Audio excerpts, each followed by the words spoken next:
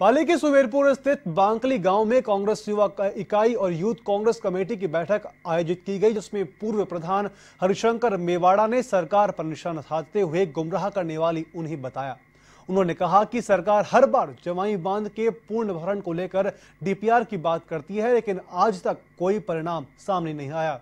तो वहीं बांकली में पहली बार सभी को एक जाजम पर देखने को मिला। कार्यक्रम के दौरान कई कार्यकर्ता मौजूद रहे।